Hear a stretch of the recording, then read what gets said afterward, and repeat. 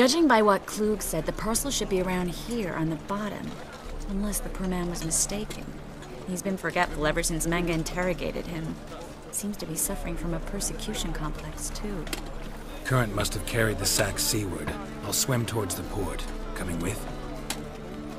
But maybe some other time. Don't know what you're missing. Water's thick with pungent oils. Guessing it'll do wonders for my complexion.